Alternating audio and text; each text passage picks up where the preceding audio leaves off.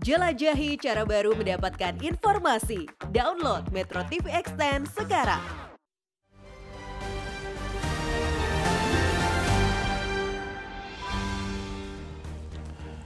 Selamat pagi pemirsa. Sepanjang tahun sebelum pemilu 2024, ASN aparatur sipil negara secara bertubi-tubi dihujani beragam kabar yang menggembirakan. Terlebih ketika mengetahui pidato pengantar era PBN 2024 dan nota keuangan yang disampaikan Presiden Joko Widodo pada Rabu 16 Agustus lalu. Presiden mengusulkan penaikan gaji untuk ASN pusat dan daerah serta TNI Polri sebesar 8 persen. Pemerintah beralasan penaikan gaji ASN adalah untuk meningkatkan kinerja dan kesejahteraan.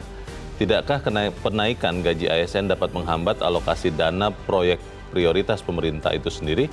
Pemirsa, inilah editorial Media Indonesia di hari ini, Jumat 18 Agustus 2023 dengan tema Royal untuk Amtenar di tahun pemilu bersama saya Leonard Samosir.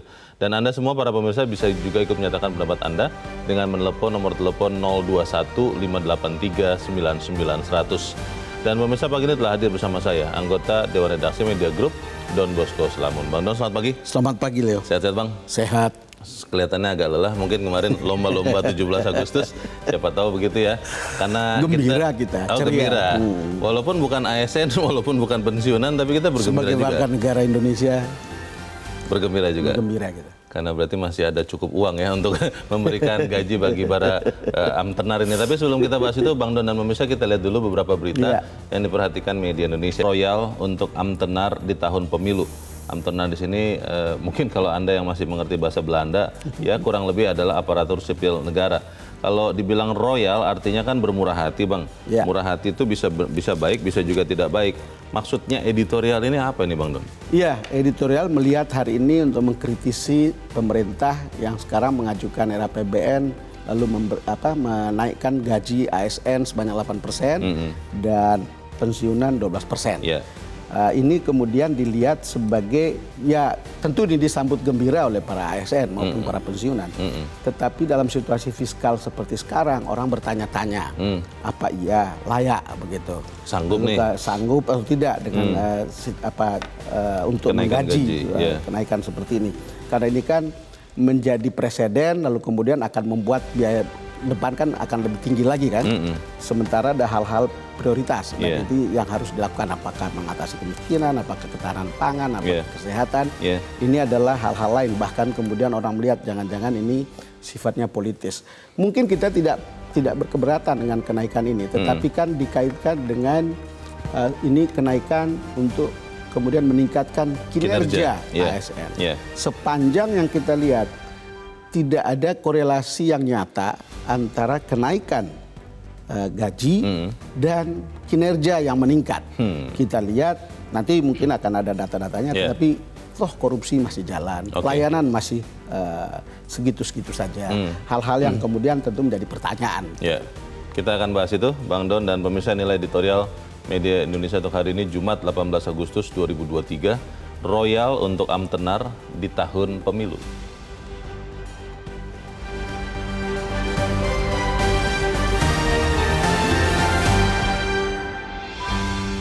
Royal untuk Amtenar di tahun pemilu.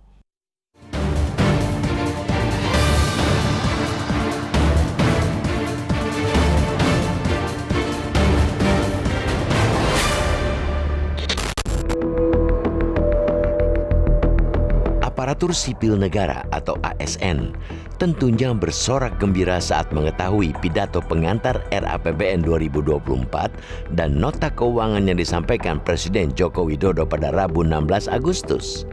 Betapa tidak, penaikan gaji ini merupakan yang pertama bagi PNS dan pensiunan setelah terakhir kali naik pada 2019. Dalam RAPBN 2024, Presiden mengusulkan penaikan gaji untuk ASN pusat dan daerah serta TNI Polri sebesar 8 persen.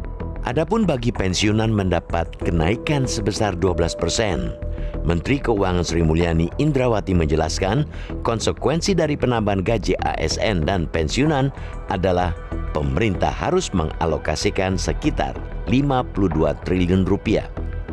Sri Mulyani menambahkan, pensiunan mendapat presentasi kenaikan lebih tinggi adalah karena ASN masih mendapatkan beragam tunjangan selain gaji bulanan mereka. Presiden dan para pembantunya tentunya sudah memperhitungkan secara matang dampak dari usulan menaikkan gaji ASN, termasuk menimbang-timbang antara manfaat menaikkan gaji para amtenar dan dampak fiskalnya. Jangan sampai program prioritas lainnya terhambat lantaran alokasi dana berkurang demi menyenangkan hati PNS. Selain gaji naik, pemerintah juga berencana membuka rekrutmen calon pegawai negeri sipil atau CPNS dengan total kuota 572.496 orang pada September 2023. Berarti negara ini harus menanggung lagi gaji bagi CPNS dengan standar gaji baru juga. Fasilitas bagi PNS tidak terhenti di gaji dan pembukaan kuota penerimaan CPNS. Sri Mulyani juga sudah menerbitkan aturan yang menambah beragam fasilitas bagi PNS, mulai besaran uang makan, uang lembur, perjalanan dinas, hingga alokasi pengadaan kendaraan listrik berbasis baterai atau KLBB.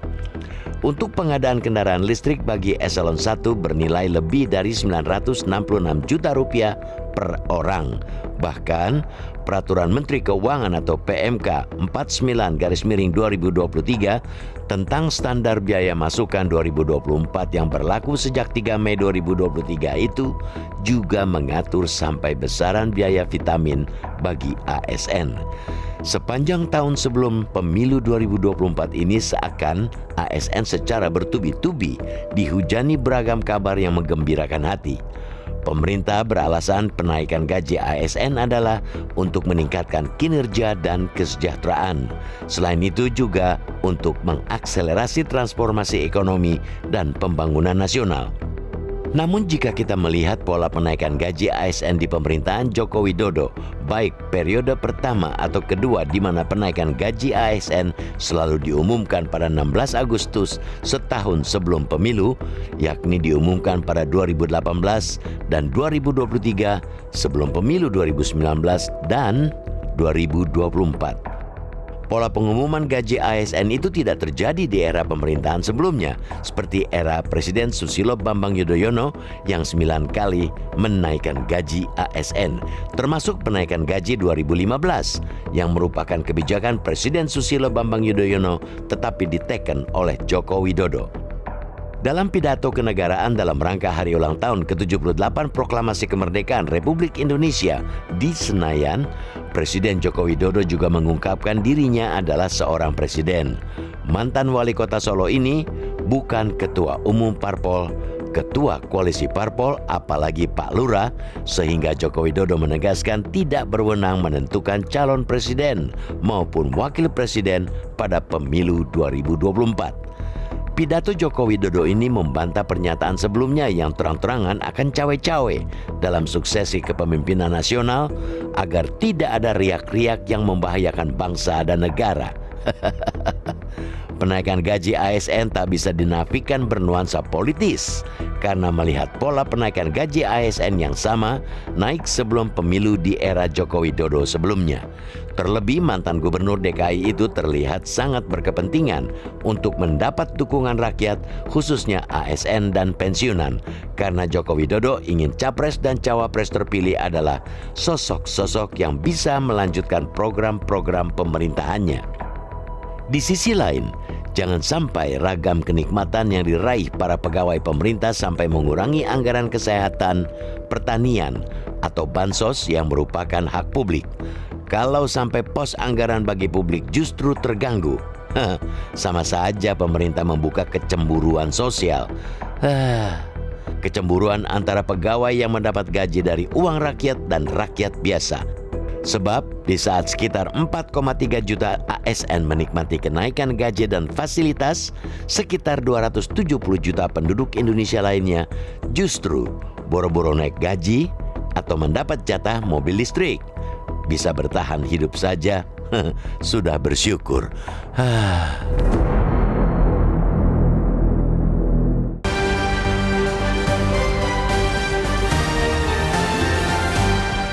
Di bagian berikut Anda bisa ikut menyatakan pendapat Anda terkait dengan editorial pagi ini. Pemirsa untuk saat ini tetaplah bersama kami.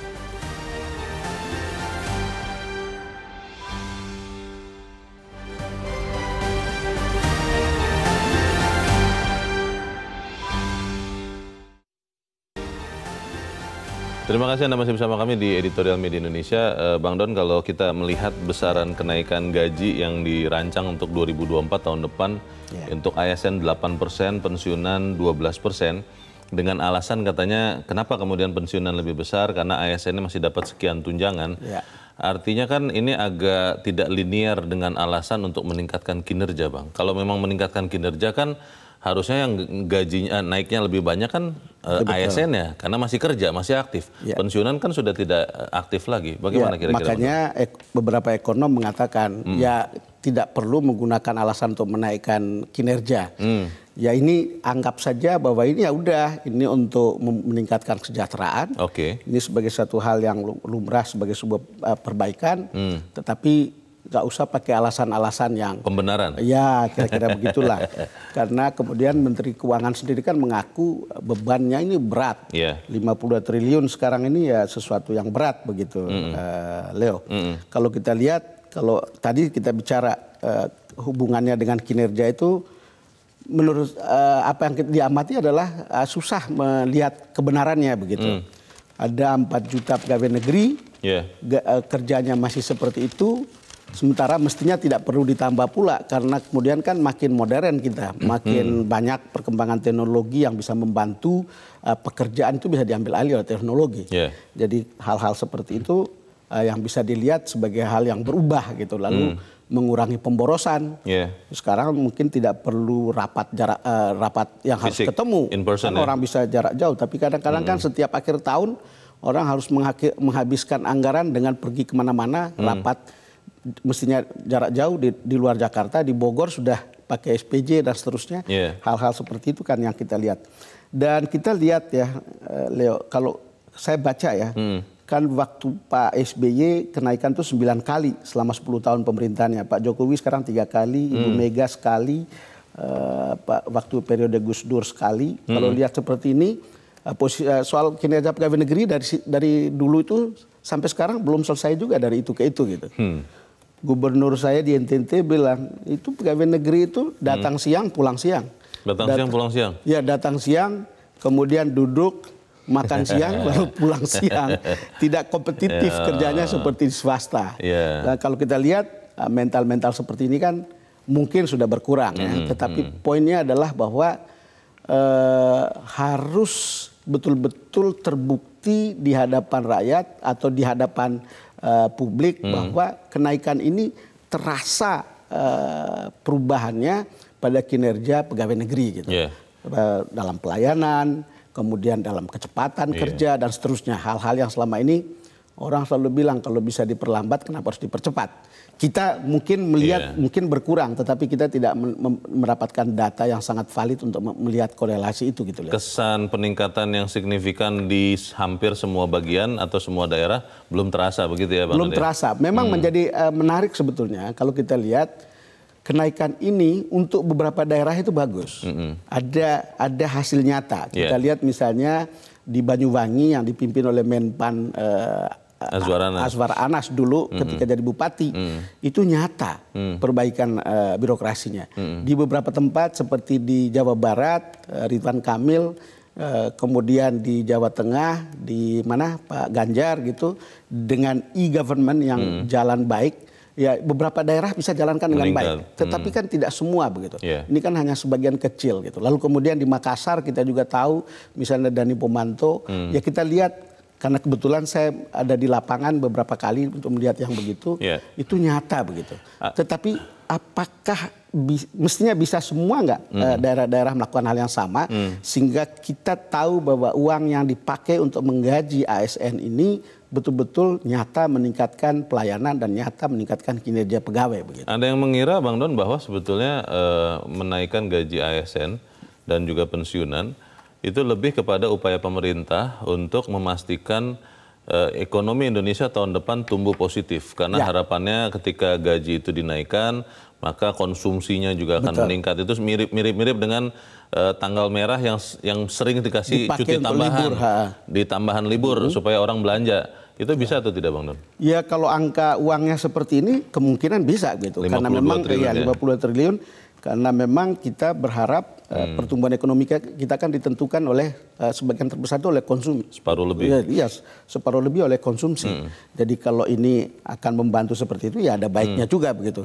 Cuman apakah pegawai negeri akan membelanjakan uangnya atau untuk keperluan yang lain begitu? Nah, kita juga belum tahu gitu. Jangan-jangan Hmm. Iya. dia simpan gitu ya jadi tidak jadi juga gitu loh. Pertanyaan yang paling mengemuka adalah Bang, bagaimana eh, bisa benar-benar kita melihat naiknya gaji yang terakhir ini tahun Ya. depan 2024 di tahun pemilu Ya. itu memang murni tidak ada motif menarik hati ASN dan pensiunan kepada pemerintah untuk kemudian pada waktunya ada return on investment, memberikan favoritism, eh, memberikan suara mereka kepada pemerintah ini, Bang Don. Iya, Leo itu pertanyaan yang kemudian eh, politis kan. Jadi ini dianggap sebagai kebijakan populis, Oke. lalu untuk mendapatkan suara. Cuman kan pertanyaannya, misalnya itu diputuskan oleh Presiden Jokowi, Iya. kan tidak maju lagi tahun depan, misalnya. kan itu kan ada ada oke. pertanyaan seperti itu. Iya. Apakah itu juga bagian dari eh, Oke. untuk me- apa namanya memenangkan seseorang yang di endorse? Iya. Itu, itu kita tidak tahu. Kita, Pasti kita pasti lihat. pasti itu tidak bang, karena kan di pidato kemarin mengatakan bahwa presiden saya ini presiden tidak bisa memutuskan calon presiden. Tapi statement politik boleh begitu loh. awal ya, tapi kita harus jeda dahulu bang Iya. dan pemirsa tetaplah bersama kami. Editorial Media Indonesia segera kembali.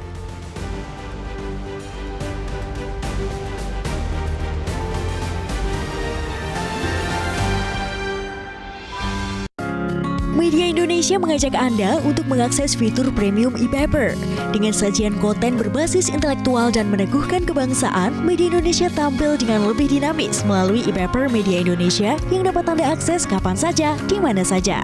Caranya mudah, download aplikasi Media Indonesia di Android atau ketik link e-paper.mediaindonesia.com atau bisa scan QR code pada layar kaca Anda.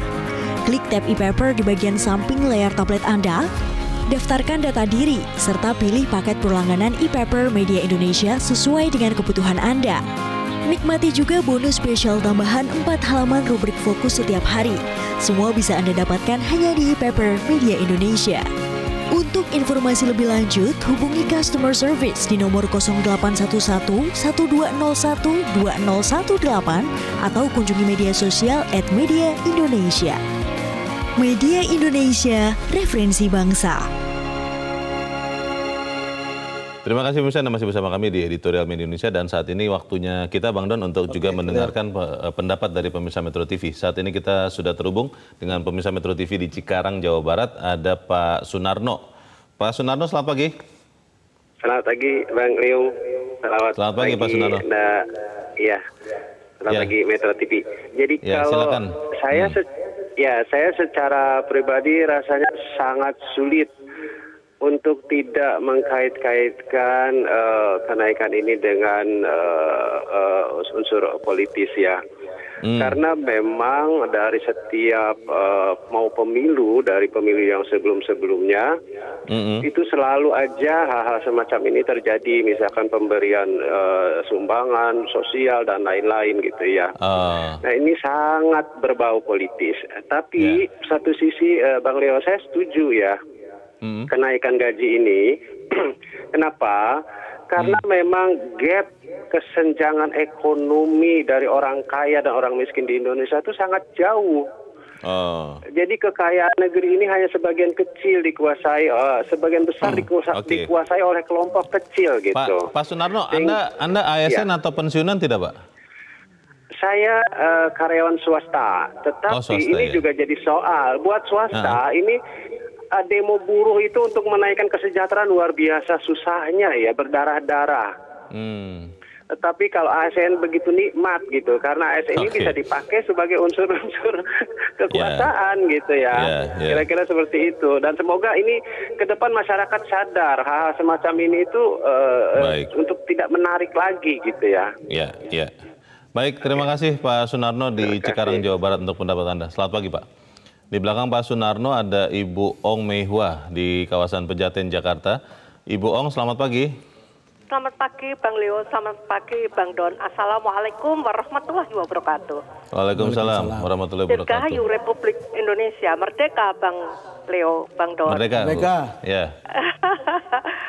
Jadi Alhamdulillah Hmm. di tahun menjelang berakhirnya Presiden Jokowi, Hmm. ASN dan Polri dan TNI dinaikkan gajinya 8 persen dan pensiunan 12 persen. Bang.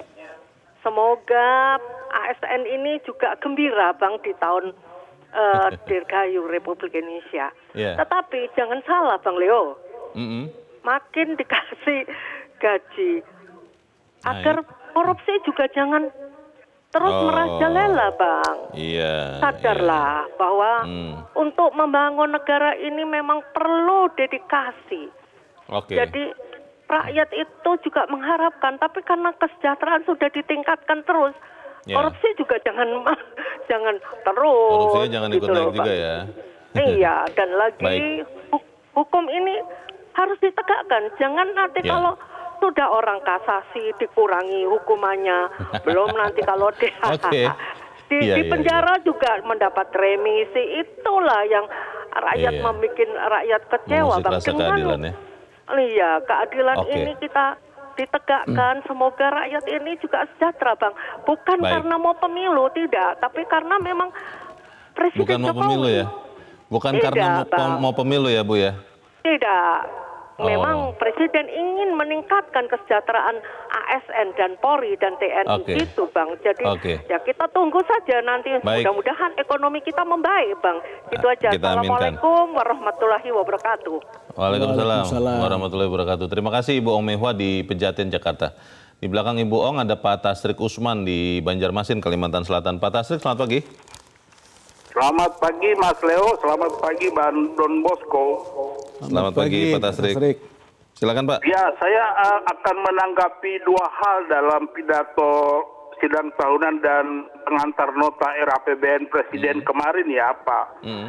Yang pertama uh, kenaikan gaji 8% di ASN, kemudian TNI Polri dan 12% untuk para pensiunan. Hmm. Eh, mudah-mudahan ini bukan eh, angka populis dalam rangka eh, menghadapi pemilu ya, Hmm. tetapi lebih banyak pada persoalan bagaimana meningkatkan kinerja para ASN, TNI Polri dan Ya. kesejahteraan bagi para pensiun. Hmm. Eh, saya lebih cenderung hal-hal seperti ini dilaksanakan daripada pembangunan kereta cepat yang sudah menelan anggaran yang begitu besar sampai sekarang belum dinikmati masyarakat. Yang kedua, Hmm. Eh, saya melihat bahwa biasanya kalau ada kenaikan eh, gaji ASN itu di lapangan Bang Donoso itu akan dibarengi dengan kenaikan harga bahan pokok. Nah Ya, ini tugas ya. pemerintah untuk menjaga bagaimana nasib yang bukan PNS dan rakyat-rakyat miskin yang nantinya Iya. kena imbas daripada kenaikan, harga bahan pokok itu. bahan pokok ya. Nah, yang Iya. kedua, kemarin juga Presiden saya juga melihat dan agak ketawa-ketawa ketika melihat Hmm. Bapak Presiden menyatakan dia bukan seorang ketua partai, Hmm. dia bukan penentu, Oke. tetapi pada fakta di lapangan, pada pidato di depan relawan, katanya Iya. pilihlah yang rambut putih, pilihlah yang Oke. berkerut. Masih ingat Nah, ya, sekarang Pak- sudah Pak masih ingat ya? Oh iya, ingat banget. Oke. Sekarang sudah Iya, iya. berpindah ke lain hati. Yang saya khawatir justru yang jadi bukan dari yang kedua itu, justru yang Oh. tidak disebut-sebut yang jadi. Terima kasih. Oke. Terima kasih Pak Tasrik Usman di Banjarmasin, Kalimantan Selatan untuk pendapat Anda Pak. Selamat pagi. Menarik ini eh, Bang Ya, Don. betul ya. Eh, para pemirsa mengatakan ini kenaikan untuk kesejahteraan. Betul. Ya bukan untuk pemilu katanya begitu. Tapi apa benar Bang bukan untuk pemilu nih Bang Don? Ya Bagaimana Bang? sangat beragam tanggapan penelpon. Saya kira itu juga mencerminkan bagaimana publik melihat ini juga sangat beragam. Hmm. Tapi intinya ada yang setuju, ada yang enggak, ada yang berprasangka ini kepentingan pemilu, Yeah. populisme, dan ada yang bilang enggak gitu. Yeah. Jadi itulah bagian dari demokrasi. Dan itu yang membuat kita merasa nyaman dalam dunia demokrasi karena kita Yeah. bebas untuk berpikir dan ngomong apa saja gitu. Masih boleh ya? masih boleh gitu. Hmm. Tetapi poinnya adalah yang paling menarik tadi dari Pak Sunarno tadi itu soal membandingkan kenaikan ini dengan pegawai swasta. Iya. Kita tahu bahwa banyak perusahaan masih susah Hmm. dan karyawan terpaksa puasanya lebih panjang. Hmm. dan memang ini kemudian jadi pertanyaan kan, Iya. gitu. Saya kira ini hal-hal yang juga perlu dipikirkan. Lalu kemudian dari Ibu Ong, saya kira seperti apa yang kita buka tadi untuk mengatakan bahwa sebetulnya kenaikan ini baik-baik saja untuk kesejahteraan, eh, ekonomi kita mungkin akan lebih baik, tetapi jangan sampai kemudian per- persoalannya kan korupsinya juga tidak berhenti Iya. dan bahkan makin banyak begitu. Iya. Jadi kalau kita lihat hal-hal seperti ini, ya lalu kemudian dari Pak Tasrik menarik bahwa kenaikan ini akan di- diikuti dengan kenaikan bahan Harga bahan pokok. harga bahan pokok. Iya. Dan saya kira tugas pemerintah untuk mengendalikan ini gitu. Iya. Karena kalau tidak kenaikan itu juga nggak ada artinya. Iya. Dan bahkan mungkin akan menimbulkan inflasi kan. Betul. Yang 2,8 targetnya bisa melampaui eh, di tahun depan itu. Tapi poin kita adalah bahwa selalu jadi pertanyaan memang untuk melihat korelasi seperti tadi kita dari Hmm. awal korelasi antara kenaikan ini dan kinerja Hmm. pegawai. Kemudian kenaikan eh, apa namanya gaji dan bersihnya aparatur. Hmm. Sebetulnya contoh yang paling jelas adalah beberapa perkara belakangan. Iya. Kita lihat aparat pajak itu kenaikannya paling besar. Hmm. Aparat bea cukai itu juga Kenaikan gaji kenaikan, maksudnya? ya, kenaikan gajinya itu paling besar. Hmm. Eh, ini bagian dari reformasi birokrasi, tetapi kita juga tahu bahwa di sana juga ternyata ada korupsi dan korupsinya sangat besar. Iya. Dan itu kan yang ketahuan. Mm-mm. Yang tidak ketahuan Mungkin masih ada. bisa bisa jadi lebih, Lebih besar. banyak dari Hmm. yang ada. Begitu juga kita tahu bagaimana eh, keterlibatan eh, ASN yang terlibat dalam korupsi juga eh, Iya. cukup banyak sebetulnya. Iya. Angka tahun 2021 kalau dari SCW itu ada 162 orang Hmm. ASN yang terlibat. Jadi kalau kita itu yang ketahuan ya. Iya. Kalau yang tidak ketahuan ya jangan-jangan bisa 10 kali lipatnya dari itu kita bisa bayangkan bahwa Hmm. Eh, hal-hal seperti ini belum terlalu signifikan untuk memperbaiki birokrasi kita untuk bersih, Hmm. juga belum terlalu signifikan untuk melihat kinerja birokrasi kita lebih baik Iya. eh, untuk kepentingan untuk melayani publik begitu. Saya tertarik dengan yang tadi dikatakan Pak Tasrik itu, Bang Don. Eh, almarhum ayah saya juga ASN Ya. dan mengalami sekian kali kenaikan gaji sebelum diumumkan. Ya. Sudah ada rumor biasanya di Betul. tahun-tahun yang lalu ya di Orde Baru mungkin.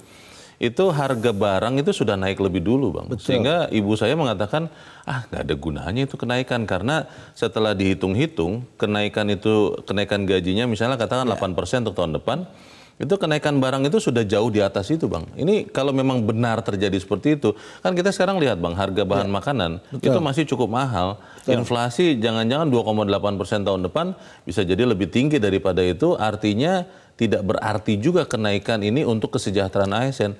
Lalu untuk apa, Bang? Ya makanya kita lihat besok lusa ini kita lihat cek harga di lapangan. Hmm. Reporter kita akan meliput seperti apa. Jangan-jangan secara psikologis sudah naik duluan. Iya. Jadi memang selalu jadi soal ini lingkarannya kayak begitu.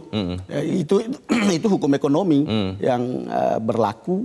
Lalu kemudian mestinya kan kalau sudah ada pengumuman begini harus ada antisipasi terhadap hal-hal yang lain. Pengendalian inflasi itu Pengendalian harus. inflasi, pengendalian harga dan seterusnya Iya. itu harus satu paket Mm-mm. di lapangan sehingga kenaikan ini ada artinya Mm.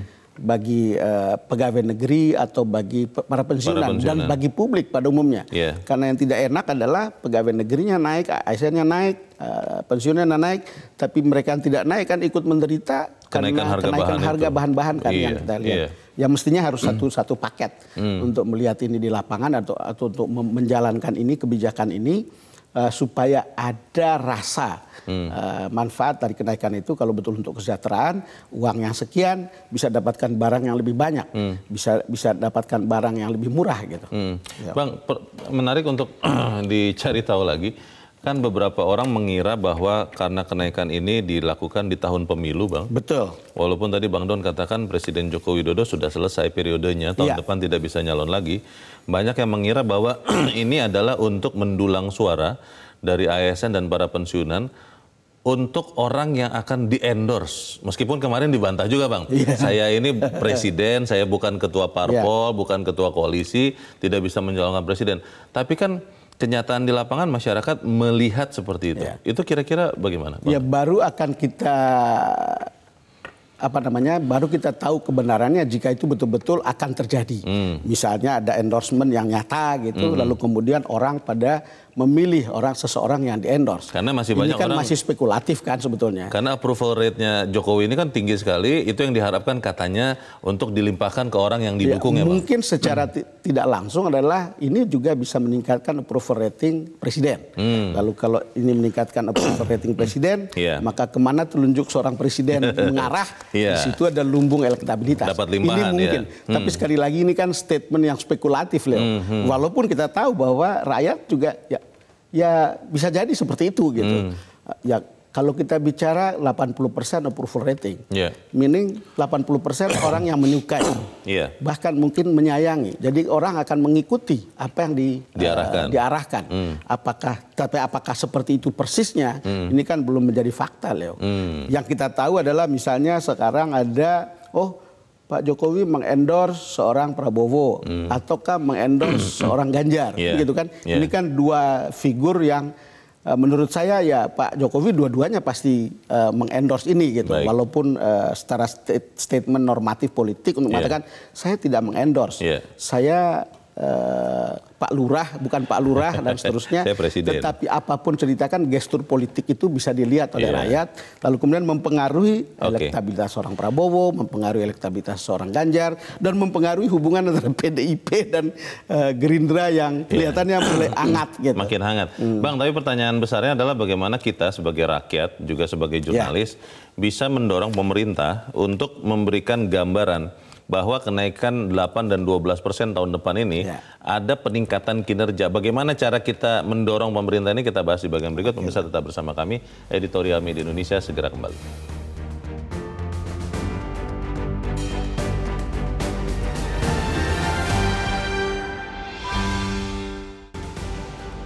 Terima kasih Anda masih bersama kami. Kita di bagian akhir diskusi kita pagi ini. Bang Don, bagaimana memastikan kenaikan 8 dan 12 persen ini efektif Bang untuk meningkatkan kinerja ASN? Ya kita berharap seperti itu loh. Kita tidak bisa memastikannya. Tetapi ada sejumlah contoh yang memperlihatkan bagaimana birokrasi di beberapa tempat itu berhasil meningkatkan kinerjanya karena perkembangan-perkembangan menggunakan teknologi.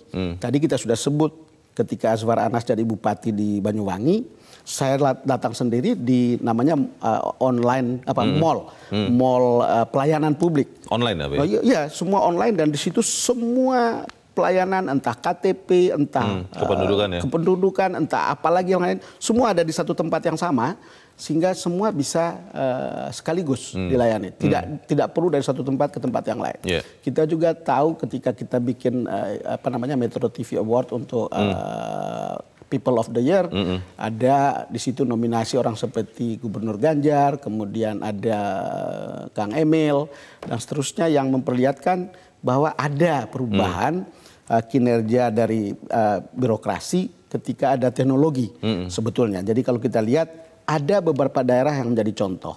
Artinya kalau lihat seperti itu, mestinya di beberapa daerah juga bisa dilakukan. Yeah. Artinya apa? Kalau kita sudah mendrop eh, anggaran untuk kemudian meningkatkan gaji eh, ASN, itu juga harus bisa dilihat.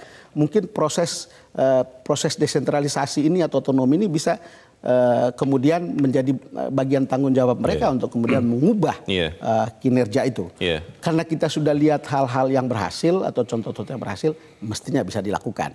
Dan menurut saya ke depan, kenapa kita harus berpikir untuk menambah lagi pegawai negeri? Orangnya ya? Ya orangnya ya, karena itu kan sekarang perkembangan teknologi sudah sebegitu majunya untuk Iya. kemudian bisa sebagian dari pekerjaan itu ditangani gitu. Hmm. Tentu pertanyaannya adalah, ya enggak, karena ini bagian dari pembukaan lapangan kerja juga, bagi- Menyerap- menyerap tenaga kerja tenaga dan kerja. Hmm. seterusnya. Itu juga alasan yang masuk di akal. Tetapi ya harus terlihat bahwa ya makin baik dan makin maju lah gitu. Hmm. Kita kita berharap begitu, Leo. Ya, memastikannya bagaimana Bang? Kita ini kan serba terbatas ya kalau kemudian kita lihat PNS telat-telat itu kan biasanya hanya setelah lebaran biasanya ketahuannya ya diberitakannya di situ. Cara memastikannya bagaimana? Iya harus ada kontrol. Hmm. Jadi harus ada kontrol. Kalau di swasta setiap uang yang dikeluarkan itu kan harus ada feedbacknya apa gitu. Iya. Ya begitu juga mestinya uang negara atau uang rakyat dipakai untuk menggaji ASN itu juga harus ada feedbacknya. Hmm. Dan feedback itu bisa di- dilihat dengan nyata dan prosesnya itu harus ada kontrol yang ketat. Iya. Kalau kalau tidak ada kontrol yang ketat ya kita selalu berpikir ah kita membayar pegawai negeri Hmm. untuk hal yang sebetulnya dalam dalam kategori tertentu menjadi sia-sia. Hmm. Apa-apa sampai kapan kita harus melakukan itu gitu. Iya. Sekarang tentu ada dulu berbagai istilah pengawasan melekat lah, ada macam-macam penataran atau pendidikan lah, macam-macam. Ya itu baik. gitu. Iya. Cuman kenapa hasilnya tidak eh, signifikan seperti yang diharapkan, seperti yang Iya. publik harapkan. Iya. Sebetulnya kan ini yang selalu ditunggu. Maka ketika kita lihat kemarin ada pengumuman seperti itu, harapan publik untuk eh, kinerja pegawai ini lebih baik dan seterusnya itu betul-betul harus nyata sehingga tidak ada prasangka bahwa ini kepentingan populisme, ini kepentingan pemilu dan Iya. seterusnya. Jadi itu jawabannya harus harus ada kinerja yang nyata untuk Jadi kita ini alami. tugas Pak Azwar Anas juga dong Bang ya. Karena kan sekarang beliau Salah satu Menpan tugasnya. RB Iya. untuk memperlihatkan kinerjanya bagaimana efektivitas dari kenaikan gaji. Mungkin Kemenpan RB sebagai leadernya. salah satu tugas beliau dan tugas pokok beliau kan begitu. Tapi Hmm. kan ini kan terikat pada masing-masing departemen, pada masing-masing instansi. Oh. Tugas bersama, dan ya. beliau tidak bisa mengambil semua itu begitu. Ya. Itu itu Baik. ya gimana Leo? Ya. Saya kira perlu kesadaran untuk Oke. mengatakan ini rakyat membiayai saya dan saya kasih kembalikan itu kepada rakyat dengan pelayanan lebih baik, Baik. dan tidak korup. Baik, kita harapkan itu yang terjadi. Bang Don Bosco Salaman, terima kasih sudah hadir di tempat ini. Selamat pagi Bang. Selamat pagi Leo. Jangan sampai pemirsa, ragam kenikmatan yang diraih para pegawai pemerintah mengurangi anggaran kesehatan, pertanian, atau bantuan sosial yang merupakan hak publik. Kalau sampai pos anggaran bagi publik justru terganggu, sama saja pemerintah membuka kecemburuan sosial, kecemburuan antara pegawai yang mendapat gaji dari uang rakyat dan rakyat biasa. Saya Leonard Samos- Samosir berterima kasih Anda sudah menyimak editorial Media Indonesia untuk pagi ini. Terus jaga kesehatan Anda, terus jaga nurani Anda. Selamat pagi, sampai jumpa.